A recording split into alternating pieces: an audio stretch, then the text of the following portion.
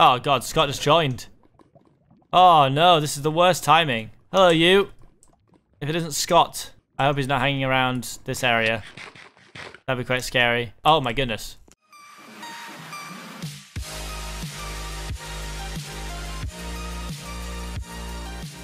What is going on guys, my name is CPK, welcome back to another video on my channel today. I'm back with another episode of Kingdom Craft, your favorite faction series, where all your favorite YouTubers mess with each other all day long in an attempt to stress each other out to the point that we want to quit our jobs. Welcome back. Today, I know that something interesting has happened because I've seen a video about it. Um, so, let me break this down for you. Right now, I can hear a lot more water than I normally can. That much is for sure. And that is because Scott, the Everkind Scott, has come to my area, my volcano, and he says he's turned it all to obsidian. Now, I, I, didn't watch the video because I didn't want to spoil it for myself, but I did see the title, which was I turned his whole volcano to obsidian. So I'm guessing that's that's what he's done. You know, otherwise, a bit of a weird clickbait title. So sadly, the only way for me to get to my actual volcano is to walk to spawn and come back because I have no other way of getting outside of my volcano without breaking my obsidian. So we are gonna head back to my own volcano and see uh, the damage that is done. Now, let's be honest. I deserve this. I've been messing with Scott a lot recently, and uh, I think it's fair to say that I definitely deserve it at the very least. So yeah, I, I think to say I deserve it is probably an understatement. So let's find out how bad the damage actually is. Is it repairable? Can we fix my volcano? Is it finally gone? Let's be honest. You can't really believe it took this long for it to get taken down, to be fair. Okay, so episode 1 of Kingdom Craft was August 31st, okay? We're now in 2020. The fact it's taken, uh, like, what, five months?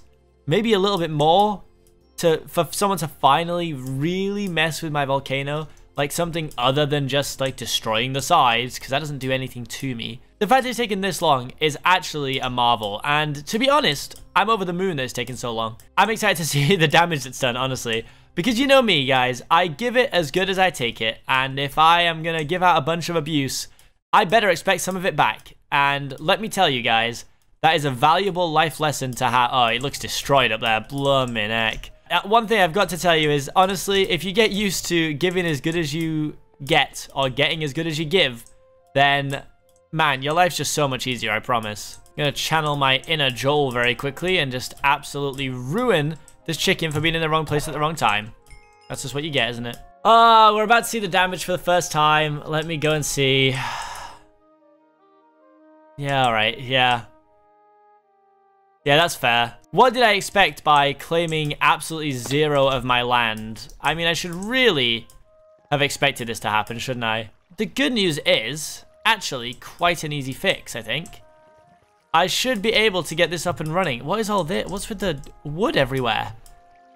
Goodness me. Right, I should be able to get this up and running back to being a somewhat functional volcano relatively quickly.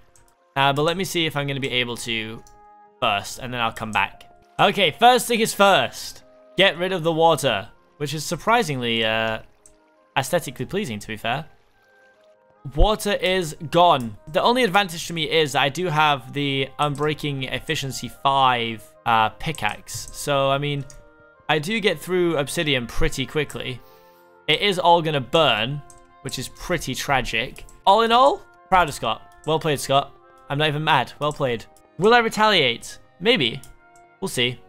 We'll see. Um, I mean, I figure now that this means that Scott has definitely seen uh, my video where I went and stole his mesa. So I would be inclined to believe... Oh, man. All this too? All the side? Oh, man. He really went all out. And to be fair, it makes it much easier to get, to get around. If you see the silver lining in all this, I've, it's much easier for me to move about now. Um, but yeah, if I was Scott, I would definitely have probably gone and claimed a bunch more of the Mesa now, so that I don't have as much to play with when trying to take it all. So all we gotta do is get the lava flowing again. It's all good. There's nothing to fear. Oh, that's gonna burn me. I mean, that's, yeah, fear that. Fear burning. Always fear burning, guys. That's my second life tip of the day. I can't tell you one occasion where I've ever heard of it being a good idea to burn yourself. Let's get it moving. It's on its way down, look. Here comes the lava. Oh boy, he coming. So let's say 5,000 likes on this video, guys, and we somehow get revenge. I, I don't know how yet, but somehow we will. If you if you want to see revenge, 5,000 likes. That's what I want.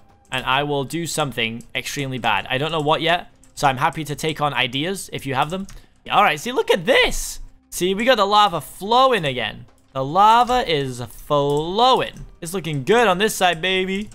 Uh, but yeah, again, obsidian is worth quite a lot of money. So um, really, if anything, I am just getting a bunch of extra stuff that I can sell if I need to. Uh, another thing I'm going to do now, because I think the old base is well and truly done, is slash f warp remove new home. Because we don't need it anymore. And we're going to do slash f warp add top. So now we can go top to get to the top of our volcano. And maybe, just maybe, we should claim a few more blocks of our uh, of our faction. Because otherwise, I can see this ending pretty badly for us, where we end up with nothing. And I've worked quite hard in this series, I think. I think I've really actually kept up with people for once. Usually, the big thing in my series is that I I don't keep up. I end up really far behind. This one, I actually think I've done alright, you know? Especially since I had a monument to protect, this blooming volcano, my goodness. Like I said, look at this. The lava is now flowing almost exactly as it was before. This side is now, uh, yeah, doing a lot of the same. So it only really took two block breaks to start the lava flowing again. And all I've really got to do now is clean up all this obsidian mess. But of course, we're not going to risk doing that while it's nighttime because, my goodness, we're going to melt. And the lava buckets have finally run out. Well, thank goodness I'm right next to a place where I can get some more lava. Perfect. And I'm still keeping up this bread diet, guys. Still keeping up the bread diet. And uh, let's take these out because we've got almost a full stack from some of these now. This is my pride and joy right now. I must keep hold of this. I must not let this slip. Because if I slip up and leave this exposed to someone, all my stuff's going to be gone. I know it is. I'm not stupid. Someone will come in and they will take my stuff for sure. And I know that in great confidence because it's exactly what I would do if I saw someone doing what I'm doing. Right, so there's another 64. I mean, we're looking pretty good, honestly. Look at these stacks. Stacks on stacks on stacks. I mean, obviously, this war can end. I mean, as soon as I get 17,000, um, you know, terracotta blocks, I'm willing to stop. I'll call a truce. But I am going to need to get the 17,000 first. You know, that's where the problem lies, probably, because Scott probably doesn't want me to do that. Which is reasonable, because, it, I mean, it is his land, to be fair to him. I mean, getting all, rid of all this is going to be an absolute process. So what does it take? Like, one, two, three, three seconds, maybe four per block, which is much better than the 10 per block. It should be, but um, it's not very fast, is it? It means that I'll do 10 blocks every 30 seconds. So I can get rid of 20 of these a minute. I reckon there's a good 200 here. So it'd take me 10 minutes to even make a dent in it. But is that what I'm about to do? Well, we'll find out. Okay, I mean, I started going around the outside. I spent a few minutes doing this. I cannot tell you how long this is going to take me. Uh, I'm going to have to do it off camera because it's going to be, you know, morbidly depressing uh, to sit and watch me do this. Um, I am going to quickly run around and claim some more blocks. So if it is F slash claim auto and just run around, just getting a few more bits just so it's not quite so easy to come back and mess with me. The only reason, I mean, everyone knows where my base is now. It's all good. You know, all the secret base stuff is gone. I want to make sure this bit over here is claimed as well. Thank you. Probably already all in chunks I own already. But, oh, no, there we go. See? Sometimes it does fall just outside of the chunks. Oh, my goodness. I was expecting four block parkour jumps in the way. Goodness me. All right, turned off the auto buy now. So now if we do F slash map, it's looking a little healthier. We got a bigger chunk. Oh, wait. Ah, here. Right, there we go. So it's looking a little healthier now. F slash map A little nicer. Um, means we can be a little bit, you know, safer. People can definitely still attack me. With some ease, actually, I would imagine. Um, but we don't care. We don't care about that. The good news is we were in the chunk quite a lot. So a lot of this stuff is cooking. You know what my old catchphrase is? Can you smell what the rock is cooking? I absolutely 100% made that up. And I've never heard anyone else say it in my life. So if you have, uh, they stole it from me. That's exactly how this works. Right now, I'm not sure if I'm going to be coming back to my own base in this episode, so I'm going to actually block up this whole area. Also, just in that little hole, I ended up with 47 obsidian, which is pretty good, to be fair, to say that I had absolutely nothing to uh, nothing to do other than pick it up, which is pretty good. And then, as always, as always, we're gonna do our little uh, our little run around, aren't we? And go get our go and get our stuff from the chests. Because well, if there's one thing we earn in this game, it's the stuff from the chests. At least that's how I feel, anyway. I feel like I definitely earned these. It's been a long time since I've had the Curse of Binding Sword, so I'd quite like that back. Oh god, Scott just joined. Oh no, this is the worst timing. Hello, you. If it isn't Scott, I hope he's not hanging around this area. That'd be quite scary. Sorry, I tell him I didn't like my volcano anyway. He's probably on wondering if I knew it was him. Oh, I knew. I think, Scott just asked if he could stream with me later too. Despicable. Despicable behavior. I'm trying to bargain with him now. I just need 17,000 terracotta and I can stop. Take it from the back, not the bit I can see. Okay, fine. We have a deal. I'll take it from the back. That's fine. I'm going to take it all from the back. I don't have to go and be anywhere near the part that Scott is in. Oh, I've ended up in the pig pen again. This always happens. Right. Is this one going to give us anything good this time? This one is absolutely terrible, honestly. Big waste of time. Did you make a canyon in my area? Does he mean a cannon? Because that actually wasn't me.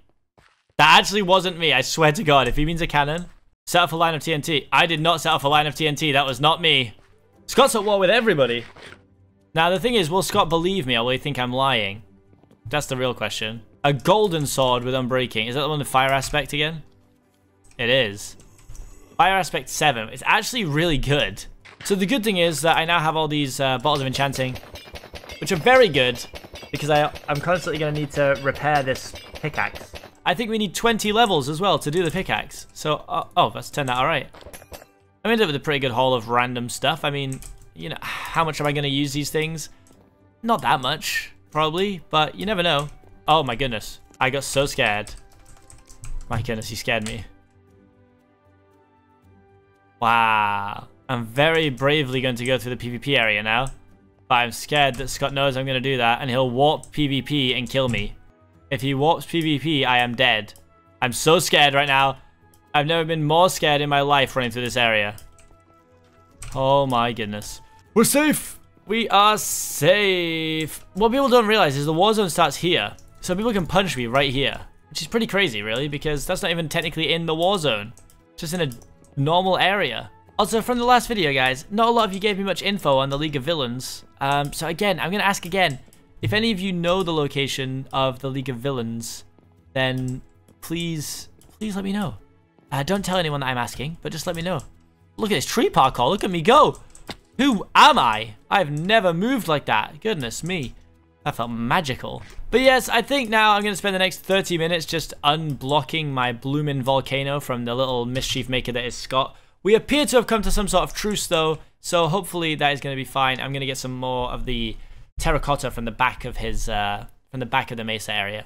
So thank you guys so much for watching. Hopefully you've enjoyed this video. If you have, then make sure to leave a like. Go and check out Scott's video too, I suppose, to see how he did it. Um, I'm assuming he just broke the glass with like TNT cannons, and then my own water will have done the problem. That's the issue. I did it myself. Thanks again for watching, and I'll see you guys in the next video. Peace!